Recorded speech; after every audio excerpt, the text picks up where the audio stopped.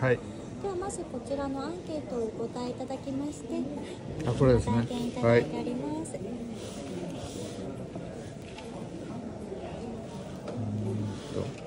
はい。こちらのレーザーチャートがご自身の味覚感度を示しております、はい。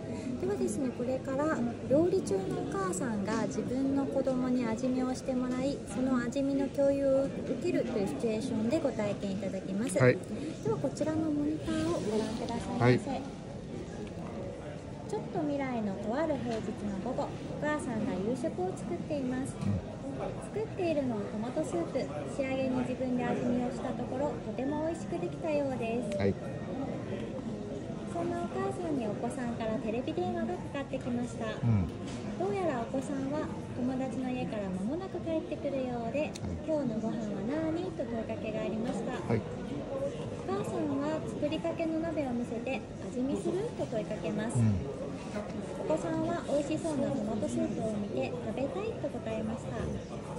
お母さんはお子さんの持つ味覚デバイスにレシピデータを送信しお子さんは友達の家から味覚デバイスを通じてトマトスープの味見をしました。なるほど。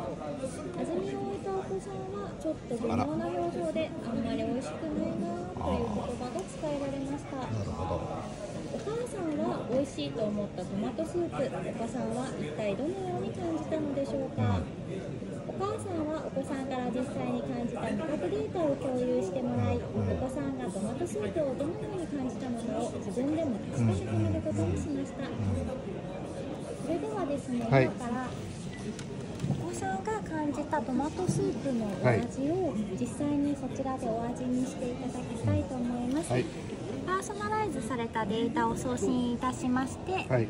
抽出してまいります。こちらスタートボタンを押しますとこちらの機械から抽出液が抽出されます、はい。スタートボタンを押してもよろしいですか、あい。いですか？あどうぞ。こはい。ちらから出てまいります。こっち行ったね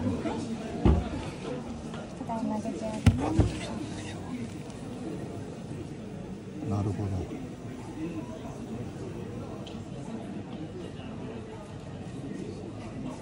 これは実際のトマトスープとは違っていて、はい。あのーまあ私があの感じるトマトスープの味とは違っていてお子さんが感じたトマトスープのお味ににななってております。ですね。はい。はい。こちらその人のアンええケートをもとにパーソナライズされておりまして、はい。基本グミを調整することによって他の人が感じている味覚を味わうことができるようになっております。なるほどはい。いえーと舐めていいはい。あの舌全体ではい。感じていただければと思います、このままちょっとスッと入れていただければ。全部入れてやっていいんはいですか、全部入れちゃって大丈夫です。うん。うん。いかがでございますか、まずいですね。実際にお子さんがそのように感じたお味になっております。なるほど。はい、さんがお味見した味のサンプルもあるんですがそちらもご用意いたしまあすか、ぜひお願いします。はい。こちらがお母さんがはい。味見したはい。いいですか？はい、どうぞお味見ください。これはこう飲むんですはい、こちらであ全然違いますね。ああなるほど。子供のはい。はいそうですね、はい。ああなるほどなるほど。